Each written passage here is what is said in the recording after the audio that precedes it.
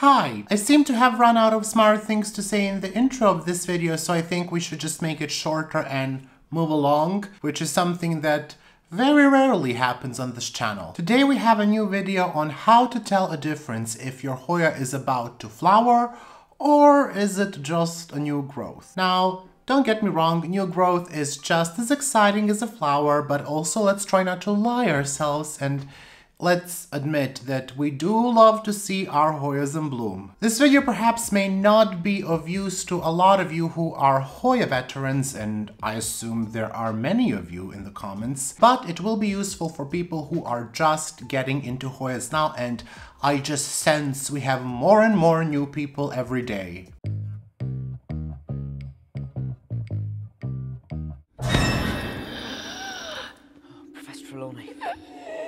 I just sense we have more and more new people every day.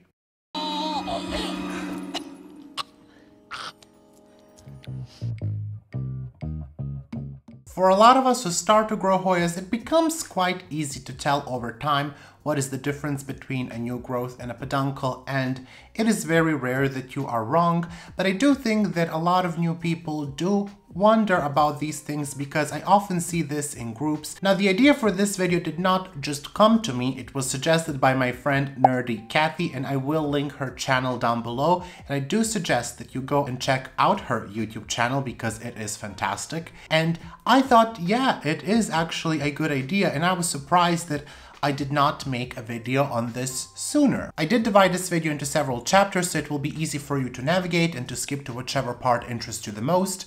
But I do suggest you watch this video in full because when it's done and when you have arrived at the end, you will experience probably not much. But, you know, it's, it's a YouTube video. Lower the expectations. I did try to take as many photos as possible to show you all the things that I'm talking about, but Taking photos of new growth and peduncles while they are small is quite a task. It's very difficult actually, so the photos are not that great, but at the end of the day, very few things are great. Except Catherine the Great, or better say, The Great, the TV show. Quite a few misconceptions in that show though, especially related to horses. There's just not a place where I will not take these videos. Anyways, before this turns into a very long ramble, I think it's just best we begin. I think we quite often wonder about flowering plants and how to tell if they are about to bloom or not. And when it comes to other plant communities, especially the orchid community, there are many videos that will help you figure out if you have a new flower spike or if is it an aerial root, for example with Phalaenopsis orchids. You know, that kind of becomes confusing. And with every flowering plant, there seems to be some type of a rule. And I really wanted to make this video to help you out and also to, you know, invite everyone who has been growing Hoyas for a long time to write in the comment below what their experience was. But, you know, I wanted to help out people who are just starting out with Hoyas to share my experience and how I know when my Hoya has a peduncle or a new growth. And don't worry if it's not clear right away. It will become clearer with time as you get more and more Hoyas to bloom. You will start to notice and, you know, at one point, it you will be surprised. You will be able to tell when it's very small if it's new growth or peduncle. So it takes a bit of a practice, but I hope that this video kind of serves as a guide for you and you know maybe it will help you figure out sooner because when I was starting out with Hoyas four years ago, I, I, I with some of the plants I was just looking in all the wrong places. It was like, oh, I don't know, where are you looking? Where is it? Where does it come from? What does it do? Chapter 1 where do the peduncles form? Can you tell that I've been lately into audiobooks? This would be a great spot for a sponsorship. Call me. Or email me because it's 2022. When it comes to Hoya inflorescence, it can be either axillary or terminal. In most species, however, it is more common for them to be axillary and to form at the node. However, some like Hoya linearis or Hoya bella will present themselves as terminal. Now all of that is fine and dandy, but another thing comes from the node and that is the new growth. So you can see it becomes a bit difficult to tell is it a new peduncle or is it new growth? Now there are some misconceptions about Hoyas and flowering and cutting off the branches and whatnot. I will not get into those at this video because it will be extremely long and we're trying to keep it short, keep it focused, keep it... Well, that's about it. And if anyone is confused as to where to look for the nodes, it is very easy. It is where the petiole of the leaf meets the stem. Since we have now established where do these peduncles come from, now we can talk a bit what do new peduncles look like. Now I will put some photos of peduncles of my Hoyas in several different stages so you can see how they look when they are very small as they get larger. You will see examples of some Hoyas like Hoya fungii, which has a pubescent stem, and you will see how that kind of looks. I find that it becomes a bit more difficult when it comes to Hoya thomsonii and Hoya Lee because some of the clones can be very pubescent, so you know, it kind of takes just going through the hair. For some Hoyas, it is much easier to tell when they are about to bloom than others.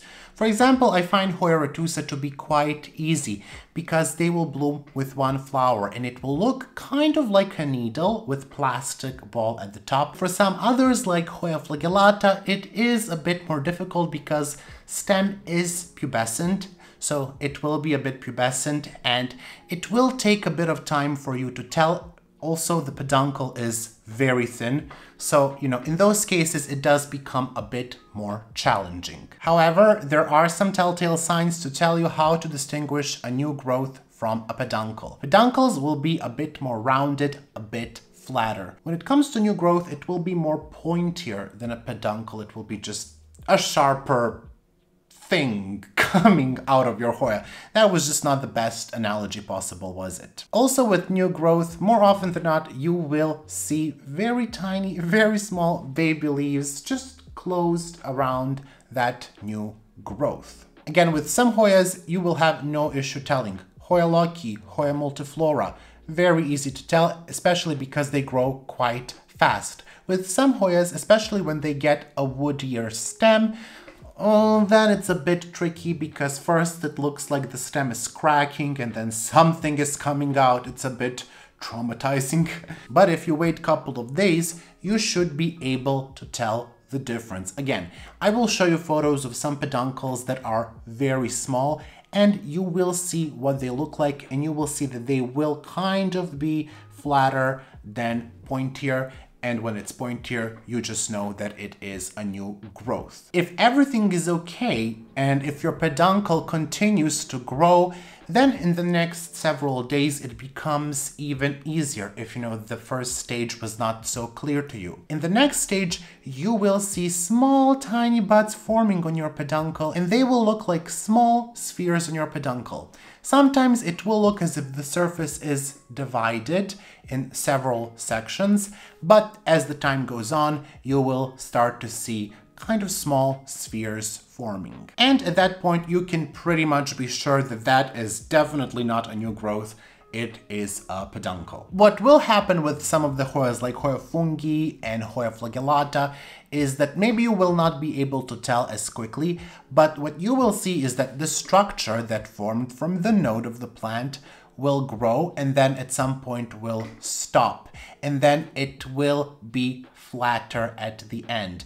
And if you take a closer look, and I will show you the photos of my Hoya fungii, you will see that there are small divisions in there, which is a telling sign that this is a peduncle indeed. Now when you have identified your peduncle, or new growth, but hopefully peduncle, what do you do next? Do you adjust your care? Well, yes and no. It depends in what stage you noticed the peduncle and just really what the stage of the peduncle is. If the peduncle has grown, and if the buds are forming, then make sure to pay attention to how you water your plant. A very known thing and a very unfortunate term, it seems, in the Hoya community that some Hoyas will blast their buds. A lot of people commented on, on me using blasting buds and I'm sorry, I did not come up with the term, I just use it. It is a term that is used in Hoya community. Anyways, let's just move on from the blasting uh, also unfortunate. Some Hoyas will be more prone to this than others. Hoya multiflora, Hoya lockii, Hoya bella, all of those Hoyas that require a bit more water will actually want more water at one stage when the peduncle has grown big enough. Many things can go wrong. If you move your Hoya around, you can lose the peduncle, the entire peduncle, and that has happened. Don't worry, your Hoya will bloom again. Maybe it just wasn't ready. In fact, some Hoyas do this a lot, but I will talk about that in the next chapter, section, whatever this video will have. When it comes to my Hoyas and what I do when I see them forming a peduncle or when I see that a peduncle has grown to a certain size, I make sure that I really do not dry them out. If you do dry them out and if the leaves become limp and very soft and you can just bend them in any which direction unless it's Hoya multiflora and any thin-lived Hoya, that is typically not a good sign. That's not something that you should allow to happen. Make sure that your plant is hydrated because flowering does take more energy. And if you don't water your plant, don't really expect the peduncle to continue growing. There are of course exceptions. There are always exceptions, but from my experience, especially with Hoyas that are like multiflora and lockii and thinner leaved Hoyas, if you let them dry out way too much at this stage, you can kiss your peduncle goodbye. Doesn't sound quite right there. When the peduncle is very small, yes, then you can get away with watering less. That's not a big deal. But once they have reached a certain size and once they have started to grow larger, you really don't want to underwater your plant. Another thing that may help your Hoya, and again, this is not a sure thing, but I have seen it help my Hoyas, is to provide them with enough light. Sometimes they will push out a peduncle and just stop that will be it. My Hoya undulata, my mother plant of Hoya undulata did that. It pushed out not one, two peduncles and it decided to take a break. They are very small and they didn't grow much. It is under a weaker light in my Milsbo cabinet. However, the cutting that I took from that plant, and I took the cutting about the same time when I saw the peduncle, and the cutting did not have a new growth or a peduncle coming from the node. I just rooted the cutting and I put it in my grow tent and basically it pushed out a peduncle and the buds grew and they are larger than the ones on the mother plant. Actually, they're not even visible on the mother plant. So I think that higher light and warmth really worked for this Hoya and possibly increased humidity. I know that some people will say, well, it was just stressed and all that, but it really wasn't under any sort of stress. It didn't start to push a peduncle until it was rooted. I just think that the higher light contributed to making the peduncle faster. In fact, it happened with several of the Hoyas in my grow tent. With the higher light, they started to push out peduncles. This will not work for every Hoya. There are some Hoyas that will push out peduncles when the length of the day is shorter, with some when the length of the day is longer, some will bloom when it gets colder, and you know, there are many different theories, and I do think there are many different things that will trigger your Hoya to bloom, but that is not a topic for this video. That is, a, I think, in my opinion, a very complex topic. And I think a lot of people jump to conclusions as to what made their plant bloom. Again, not gonna get into it, and I suggest you don't either. Don't invest. Now, the last part, and possibly the most important one, how long will it take from the peduncle to flower? And I'm sorry to tell you this, but Hoyas do tease us a lot. And, you know, it may be several weeks, it can be up to a month, couple of months, or it can be much longer than that. In fact, oftentimes what will happen, Hoyas will drop the peduncle, especially the young ones. This is very frequent. In my experience for Hoya Bella, I had several different Hoya Bellas, several different clones, and they all kind of do this you know, you root them, they start to grow, they push out a peduncle, the buds start to grow, and the next day you just look at it and it's yellow and gone. There is this information passed around in the Hoya community as general truth, and you know, it may or may not be true, but I'm just gonna relay it to you. They say that some Hoyas will push out peduncles to see if they can bloom. And if they can, great. And if they cannot, well, they're just done with that peduncle. And that is fine. I honestly do believe eventually you will get your Hoya to bloom. Maybe I won't get my Hoya polyneura to bloom because that one pushes out peduncles with every node. And every time the buds start to grow a bit and then poof, they're gone. And I think it's because it's way too hot for that plant here. It has to be because I have no other explanation. I tried natural light, it didn't work. I tried lowering the temperature a bit, it didn't work. I tried more, less water, I tried many things, many nodes, many peduncles, and many blasting buds. Another thing that can happen is your Hoya can start to produce a peduncle, and then it will stop growing. And it will be frozen in time. And it will just stand there looking petrified, and that's it. I had had this happen on some of my Hoyas.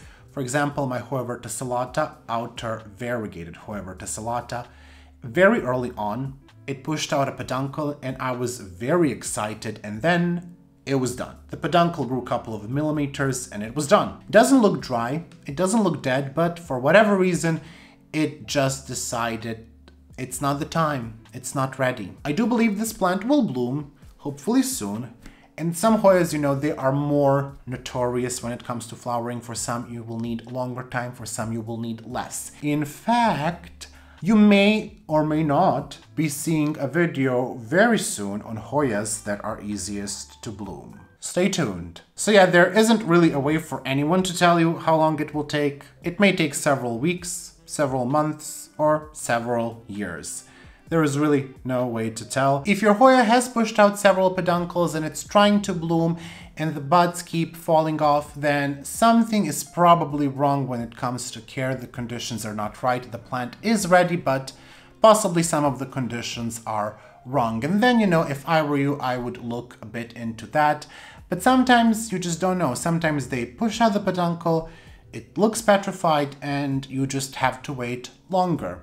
Sometimes the entire peduncle will fall off for no apparent reason, and I wouldn't worry unless it happens all the time. Then again, I would look into my care and what could be wrong with the plant. That is all for today. I think this is quite a short video in Miro's terms and when it comes to this channel but I hope that it was useful. Again, I know that the Hoya veterans already know this and much, much, much more. Maybe some of them have x-ray and they can tell even before the peduncle has pushed out from the node. You know, I just wanted to share what I know, what I experienced, and what I noticed on my plants. And I hope that some of you will find this information useful. If you like this video, make sure to give it a thumbs up. And if you're not subscribed to the channel, well, I do not know what you are waiting. Please do not be waiting for a Hoya peduncles before you subscribe because it may take a while. I would like to hear from you in the comments below, especially from Hoya veterans, but anyone is welcome to join. What are some of the signs that you have noticed? What do you do when you notice peduncles? Do you adjust the care at a certain point, you know, once they grow a bit larger, or do you just Hope it will all work out. Let me know, I would like to hear that. And that is it. I hope you are having a wonderful day. I will see you very soon with another Hoya video. Because, do I even have to explain myself? Bye! I would like to take some time to thank my patrons. A massive shout out to my $5 patrons. One anonymous patron, Aurelise, Betsy Begonia, Bonnie Harris, Carrie, Cynthia Taylor, Danube Daniels, Estelle Farah, Houseborn Heather, Hoya Heather, Kelso Kristen Sherwood, Mars B, Martina Alif Perde, Melissa Walker, Nicole Ferranti, Nicole and Caleb of Schleef Tropicals, PJ, Plants by Misha, Rachel Colette Conroy, Robin L. Jennings, Stephanie H2O, Spinach Geek, Tanya, TJWO, Vicky Dinkler, Vojta Takac, Wendy Foreman, and Zlatko Nipani. Also, a big thank you to my $3 patrons. Angelina Farnan, Brana Phillips, Catherine G. Cologne, Claudia L., David Candia, Jerry's Garden, Lisa Helling, Lori Murphy, Morgan Kennedy, Nella, Nerdy Kathi, Nikki Plantolania, Ringlov Ruby, and Shayla Mason Casper. And a thank you to my $1 patrons Caroline, Erin Keenan, Lauren M., Marissa Summerfield, Ran Lambert, and Tang Watanasria Cool. Thank you so much for incredible support. I hope that this video was still fun for you to watch. I do assume most of you are Hoya veterans, but eh, what can you do? It is good to have videos like these so people who are new to Hoyas can learn as well. I hope you're staying safe and I will see you soon. Goodbye!